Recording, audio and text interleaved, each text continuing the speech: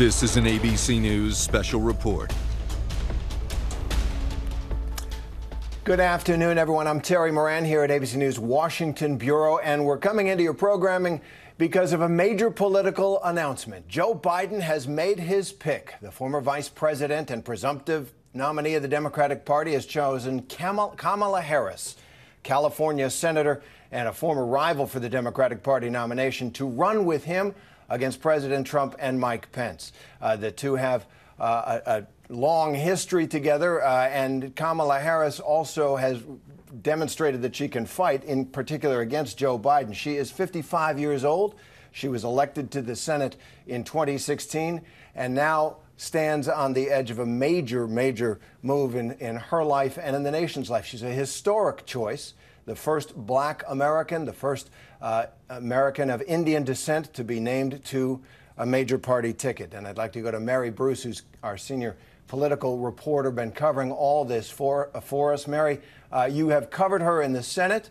Uh, this is a major moment for the country and, of course, for Kamala Harris. What do you make of this pick by Joe Biden?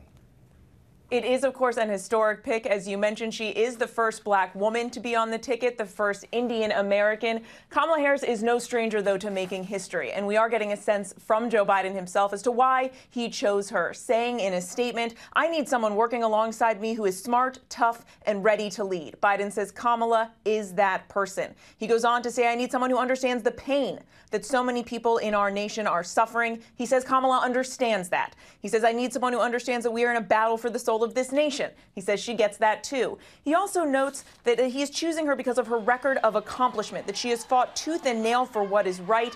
And he says, that is why I am choosing her. As you mentioned, they were former rivals not that long ago. Kamala Harris, of course, uh, took Biden to task uh, for his record uh, working with segregationist senators to oppose uh, school busing policies in the 1970s. It was an attack at the time that Biden's wife, Dr. Jill Biden, described as a punch to the gut.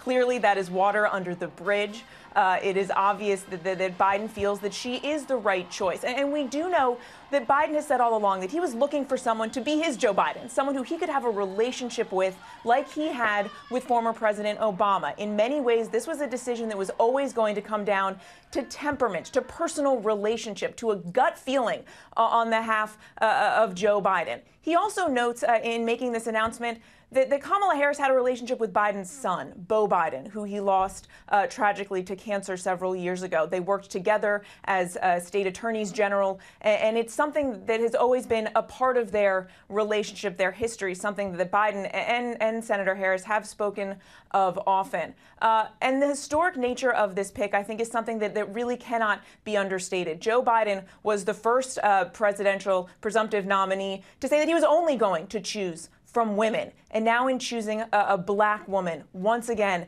uh, sending such a powerful message about representation, about the role of black women in the Democratic Party, and the future of black women in the Democratic Party as well. Terry. Mary, thank you very much. Kamala Harris is only the second black woman to serve in the United States Senate. Uh, George Stephanopoulos is with us. George, in some ways, Kamala Harris is the most traditional pick on the list of candidates that Joe Biden was looking at. The United States Senator has run for the presidency, has a national profile, but she is something new, really, on the national ticket. And I think this process for Joe Biden probably ended up pretty much where it began coming out of the primaries, as Mary pointed out, he said he was going to pick a woman. Uh, it, it became fairly clear after all the racial unrest across the country this summer that there would be more pressure that that woman be a black woman. And the, the big question for Joe Biden all through this process, as he went through the interviews, as he went through the vetting, was could he get comfortable with Kamala Harris? Uh, as Mary said, when she took off on him in that debate, last summer. It was a gut punch to Biden. It was a gut punch to Jill Biden, Dr. Jill Biden, uh, Joe Biden's wife, who were, were kind of shocked that she went there given the relationship she had had with Beau Biden. And then the question for Joe Biden through this process was going to be can I trust her? Will she be a partner? In the Oval Office? Will I have to be watching my back, or will I have someone who's going to be watching my back uh, as as vice president? And clearly, over the course of this process, he ended up getting comfortable enough to say, she's going to be my pick. And you talk about historic choices, uh, Terry, uh, as the first black woman on a ticket. She's also in such a uh, she becomes the instant future of the Democratic Party, especially if Joe Biden wins in November. Um, you know, you saw Joe Biden and, and Bernie Sanders were the front runners for the Democratic nomination this time around, both 77 and 78 years old. Kamala Harris is from a different generation. She instantly becomes the leader of that generation of Democrats. And uh, the presumptive uh, vice presidential nominee, George, thanks for that. Uh, she is also uh, the first member of her family to be born in the United States. Both of her parents were immigrants, uh, and that is significant as well. I want to go to Rahm Emanuel, uh, former chief of staff to President Obama, former mayor of Chicago. Uh, and former member of Congress. And Rahm, as you look at this, what does she bring to the ticket for Joe Biden? Uh, well, first of all, let me. I would like to make two side points away. One is Joe Biden's staff showed incredible discipline in this process loyalty to the principle, not leaking it. That speaks volume for the White House in the future. Compare that to the President Trump, whose his staff is leaking on him like a sieve all the time. You need a disciplined, loyal staff, and I think his staff right now show that. That is a revealing part of this process. Two, I think they've played this incredibly well politically in the sense of having suspense all the way, dominating now the rest of the news through the evening and tomorrow morning. And while she's obviously the first uh, person of color on a ticket, you know, one of the fastest growing voting groups for Democrats are people from Asia. Her descent is Indian, and that is going to play a major role in also solidifying a new fast growing constituency in the American public. And I think her background as a prosecutor, attorney general, when you look at so much of the consumer reforms, type of political protections, environmental protections, tobacco protections on tobacco, etc. That comes out of that office. And I think when we all think about the gravity of politics of Washington, her political experience, her real bones were cut in local politics, not national politics. She's actually new to national politics.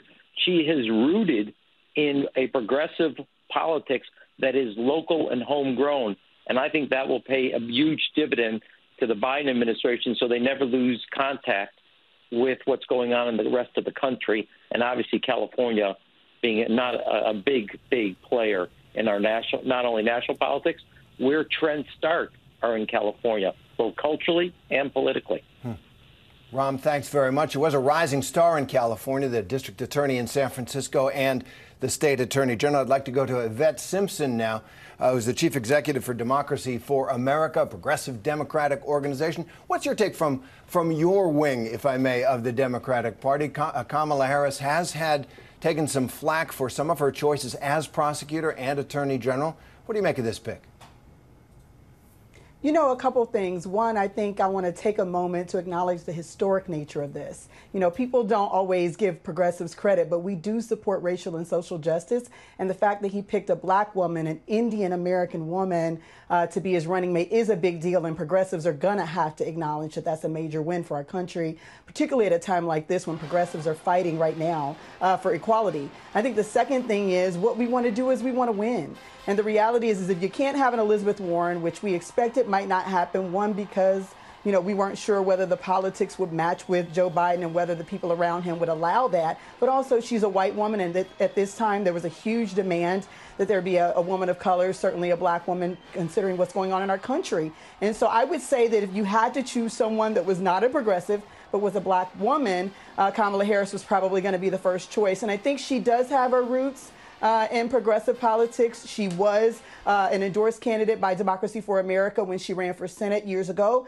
Uh, certainly, her criminal justice background has been a challenge, um, but in recent weeks, she has been one of the most outspoken people for justice for Breonna Taylor and um, George Floyd. She has been out there talking about uh, what we need to do to reform our police department. And so, if you had to pick someone who knows the police department and hopefully has a commitment to make sure that we restructure and reform our police department, I think she'd be a good choice. All in all, I think the choice was probably because we need someone who's going to complement Joe Biden. She is tough. She is strong. She is smart. She is ready on day one. And everybody is ready for that debate with her and Vice President Vice President Pence because we know that that will be quite uh, quite a, a, brawl because we know that Kamala Harris can bring it. So all in all, progressives didn't get our very first choice. We probably didn't get our second choice, but I think it is an important point to make uh, that now we are making history with the first black woman, the first Indian American uh, woman to be on the ticket. A historic choice, Yvette. Thanks very much. Uh, Yvette saying she can bring it uh, on the campaign trail. Joe Biden certainly found out about that in one in the debate where Kamala Harris famously tagged him for his support in the 1970s for busing. I'd like to bring in Zohreen Shah, our colleague at ABC News, who's really been covering uh, Kamala Harris for a long time, for a year or so. So from from that perspective, from that on the ground perspective, traveling with her, covering her, a couple of things. What kind of a candidate is she? You know, Joe Biden's a very familiar figure. She uh, Kamala Harris did run for president. But what, is, what does she bring on the campaign trail? And just what's she like? You've hung around with her, with her quite a bit over the past year. Hi, Terry. You know, it was a historic campaign, and this is a historic pick for just the third time in history. A woman selected for the job for the very first time, a woman of color. You know, Biden said he was not basing his decision on any one thing. He said he was looking at a variety of factors, including if he thought the person could be president one day and if they were simpatico with his views of the world. Clearly, we know now that person is Kamala Harris. And of course, Joe Biden turning a former rival, Senator Kamala Harris, into his running mate. You remember that first debate she uh, went after him for his uh, stance on on busing from decades ago. Um, and of course, now she has in, she endorsed him several months ago. She is now his running mate. Rumors have been building for weeks. Just two weeks ago, an image of Biden's notes with talking points about her went viral.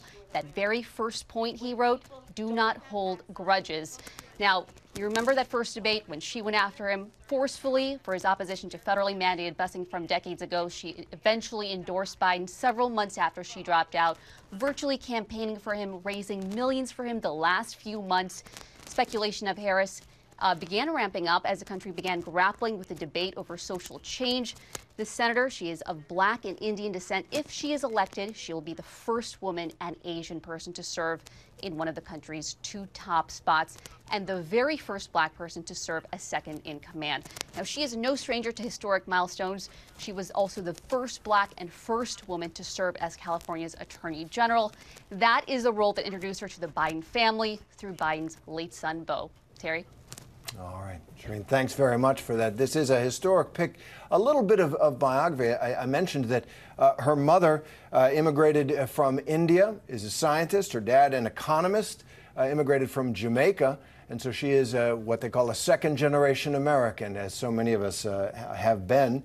Uh, she attended Howard University, the great historically black institution of higher learning here in Washington, D.C., got her law degree at the Hastings School of Law at the University of California. Uh, and I'd like to go now to John Karl uh, on the, the Kamala Harris pick. John, you've, you've, you've watched her in Congress on the campaign trail. What does she bring to Biden uh, that Biden needs, do you think? Well, I think Yvette hit on something important the question of ready on day one. Joe Biden is 77. He will be 78 uh, on uh, when, when, he is sworn in if he wins in November. That is by far the oldest president, uh, newly elected president we have ever had, uh, which will raise questions about uh, what, what is, you know, often the most important question is can the vice president step in and serve as president? As uh, John McCain used to joke, the, the, the, job of the vice president is to inquire daily as to the health of the president. but in this case, with Kamala Harris, you have somebody who brings a really serious resume, Terry. I mean, she was the district attorney for six years in San Francisco. She was the attorney general for the for the state of California, and uh, now senator from California. That means that she has a serious experience, political experience, experience in law enforcement. Uh, she's shown that she can get elected twice in the most populous populous state uh, in the union. Uh, it's, uh, you know, Biden clearly went with somebody who he believes has the experience and the standing to go in there and do the ultimate job if, uh, if she is called on and if she needs to, to step in to be president. All right, John, thanks very much. I want to go back once more to Mary Bruce on what happens next. The, the pick, the ticket is there. What are they going to do? Well, now we know we will be hearing from them tomorrow. For the first time, we will see Joe Biden uh, delivering remarks side by side with Kamala Harris, his pick for VP. We are, uh, it will be the first time that we will hear from Senator Harris in, in, in a little while. You know, unlike so many of the others, uh, potential finalists and potential contenders here, Harris has been very tight lipped. Unlike others who are actually actively campaigning for this role, she really uh, laid very low uh, throughout this entire process. We are now getting uh, some initial reaction from those close to her, saying they are so proud, very emotional, and adding, now on to the hard part. Terry. On, on, to the hard part, on to the race. And uh, Rachel Scott is with us as well, our colleague covering the White House and politics. We've been out on the campaign trail. Uh, as you look forward to what this Democratic ticket now, Biden Harris, is going to look like and what they're going to accomplish, uh, what are you expecting? What do you see with Kamala Harris on the ticket?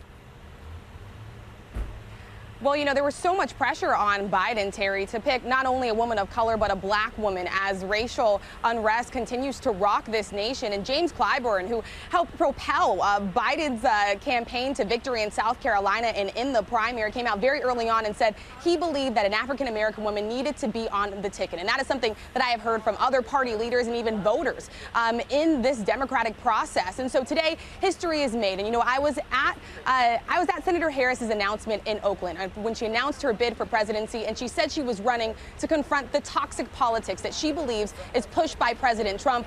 Now she will have a chance to do that as the running mate to Joe Biden. Terry, history is made today. Absolutely. Thank you, Rachel. And as Rachel said, this year, this year 2020, with the when the killing of George Floyd triggered that uh, anger and anguish and a national reckoning on race that continues, Joe Biden's choice of Senator Kamala Harris as his vice presidential pick ensures that that will be right at the center of the debate, in the debate, that vice presidential debate to come between Kamala Harris and Mike Pence. So once again, Joe Biden picked Senator Kamala Harris as his vice presidential nominee. Uh, they will be confirmed as the nominees next week in this virtual Zoom uh, convention that they're planning. There'll be much more on this and on all the politics stories on World News Tonight with David Muir and on the ABC News Live streaming channel check in with that. I'm Terry Moran here uh, in Washington, D.C. Thanks for watching. This has been a special report from ABC News. Hi, everyone. George Stephanopoulos here. Thanks for checking out the ABC News YouTube channel. If you'd like to get more videos, show highlights, and watch live event coverage, click on the right over here to subscribe to our channel. And don't forget to download the ABC News app for breaking news alerts. Thanks for watching.